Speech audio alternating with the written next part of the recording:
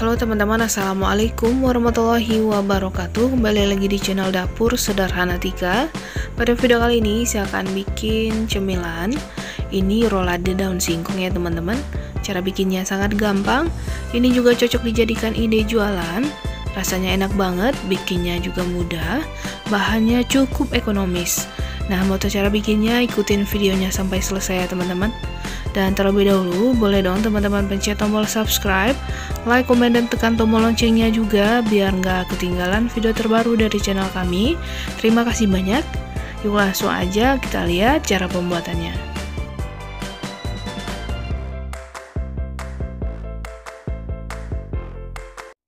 Pertama, kita didihkan air secukupnya, lalu tambahkan seperempat sendok teh baking soda. Lalu kita campur. Kalau dirasa airnya udah panas dan mendidih, masukkan daun singkong. Di sini saya gunakan satu ikat daun singkong ya, yang udah dicuci bersih. Lalu kita campur seperti ini atau kita aduk. Fungsi soda kue di sini biar daun singkongnya itu masih terlihat hijau ya. Dan biar cepat empuk ya, teman-teman. Kalau nggak suka, boleh di skip penambahan soda kuenya.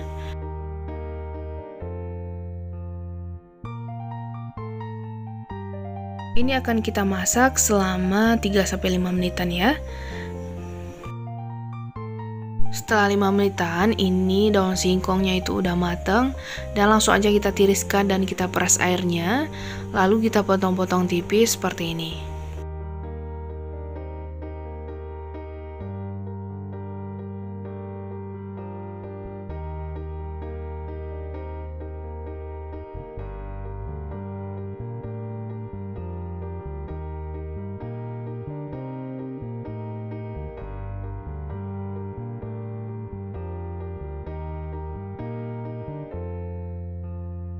Kalau udah, sisihkan. Selanjutnya, siapkan tahu. Di sini saya gunakan 5 buah. Lalu kita haluskan menggunakan garpu.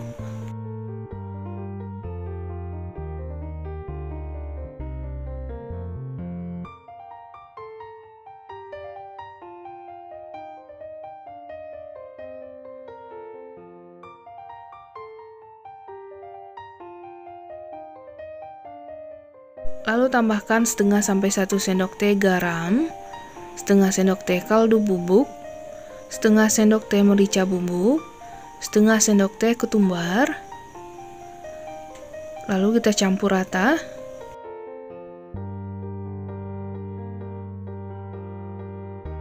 Nah, di sini saya tambahkan juga 3 siung bawang putih yang udah dihaluskan, lalu campur rata lagi.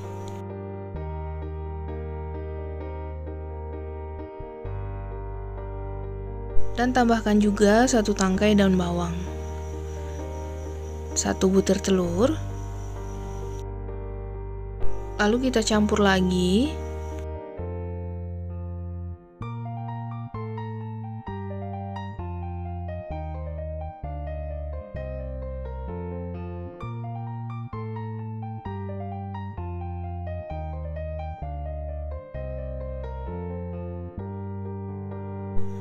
Lanjut kita tambahkan irisan daun singkong yang udah kita siapkan tadi.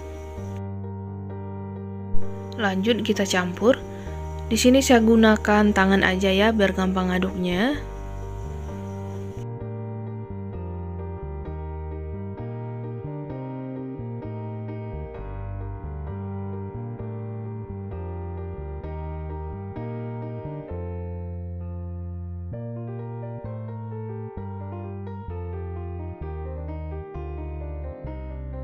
Kalau dirasa udah tercampur rata, sekarang kita tinggal bulatkan. Jadi untuk ukuran sesuaikan selera aja ya, atau kebutuhan.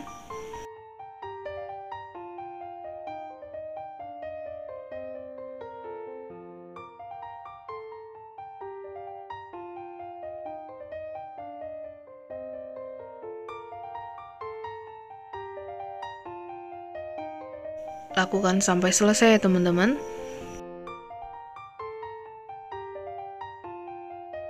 Nah kurang lebih seperti ini ya bentuknya. Sekarang kita akan siapkan untuk kulitnya, siapkan 6 sendok makan tepung terigu dan 2 sendok makan tepung tapioka. 2 siung bawang putih yang udah dihaluskan. Setengah sendok teh ketumbar bubuk, setengah sendok teh kunyit bubuk, setengah sendok teh kaldu, setengah sampai 1 sendok teh garam sesuaikan selera, dan secukupnya air. Nah, untuk airnya jangan terlalu encer ya teman-teman. Jadi cukup sampai kental aja.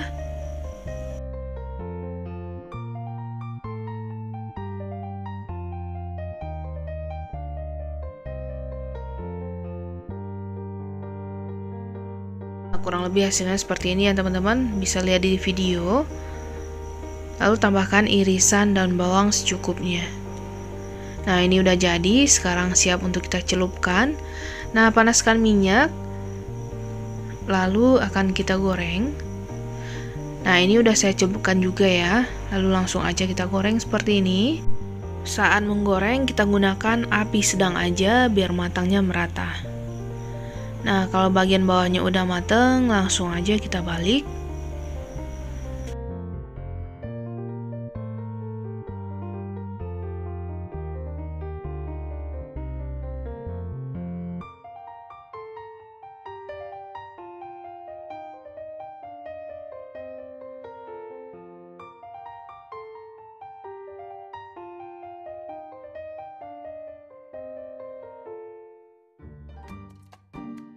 hasilnya cakep ya teman-teman. Warnanya pun juga bagus. Ini rasanya beneran enak banget. Cocok dijadikan lauk makan nasi atau untuk cemilan aja ya. Nah ini udah kuning keemasan juga. Ini udah mateng. Langsung aja kita angkat dan kita tiriskan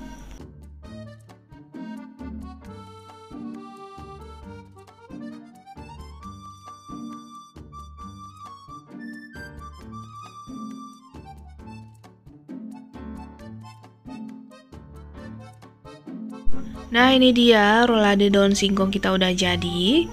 Hasilnya cakep banget juga bisa dijadikan ide jualan ya. Nah bisa dikemas seperti ini ditambahkan dengan saus cocolan.